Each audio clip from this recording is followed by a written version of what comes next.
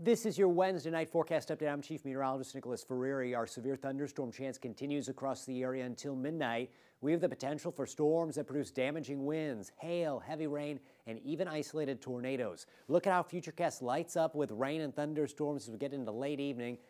The storms affect areas north of Fort Wayne first, and then they move to the south and southeast. By midnight, they begin to clear the area, but we're still remaining warm and muggy all night long. Temperatures by morning drop to about 70. Then tomorrow, no rain, no thunderstorm worries. At lunchtime, we're around 83 in Fort Wayne, a little bit cooler to the north. Really humid everywhere. High temperatures hit 90 by late afternoon, feeling more like 95 with that high humidity. Overnight into Friday, still dry. During the day on Friday, we'll get a chance at rain and thunderstorms back in the picture. Most of the time, it's not going to be raining. If we see the rain, it's most likely to happen in the afternoon. You can see 2 o'clock scattered rain and thunderstorms starting to move in in areas off to the northwest.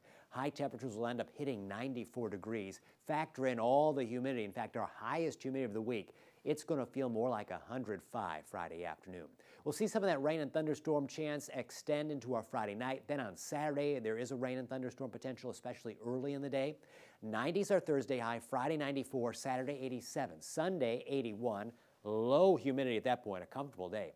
Monday 83, Tuesday 84, Wednesday 89, Thursday 88, Friday 85, and a week from Saturday 84. That's your latest forecast.